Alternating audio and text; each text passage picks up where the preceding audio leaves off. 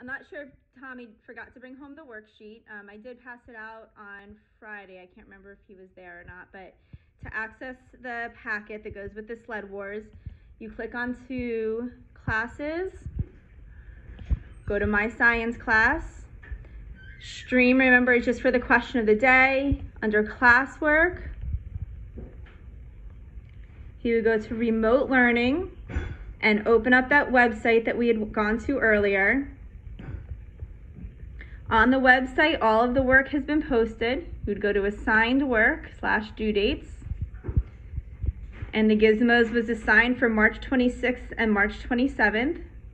So once it uploads, once you hover over it, a little gray box will appear. And you click on it, the document comes up, and all the questions that you would need to answer are here. In order to get to gizmos, if he doesn't remember, if you type in gizmos,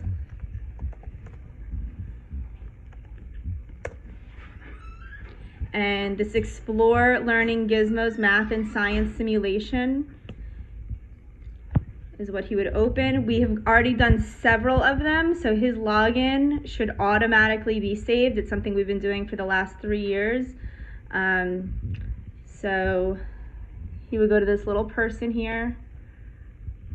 Login should already be there. He would just log in and the sled wars is right here. And then he would just follow the directions after his view might be a little different because I have the teacher view. So he would launch the gizmos and then he would just follow the directions step by step of what the sled wars asks him to do. In addition to that, you asked about the video explanations. If you click on video explanation in that website that we just went to, and you scroll down, the crash scene investigation was day three. It says right here, Ed Head's crash scene investigation. If you hit play, it brings you right to the YouTube website. So I'm gonna hit pause. Um, it does say to start at 10 minutes and 50 seconds because I had to allow people to join so you could just scroll over to 10 minutes and 50 seconds. And then when you hit play, Okay, so before you do anything, you would be able to follow walk along with what we did for the Zoom conference. I'm just going to hit stop so it's not talking over me. You could do the same thing for the sled wars.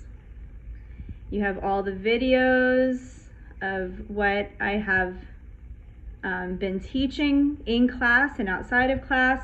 The sled wars use kinetic energy and gravitational potential energy, but just to make sure he understands it, I would recommend watching these videos again. Momentum, that was part of our speedboat um, challenge that we did right before we left class, but again, he can, should watch this video to help him. The net force video will help along with the pictures.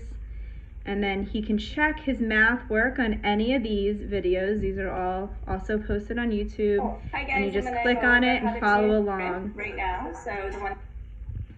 Okay, so again, if you have any questions, please ask me. Thank you.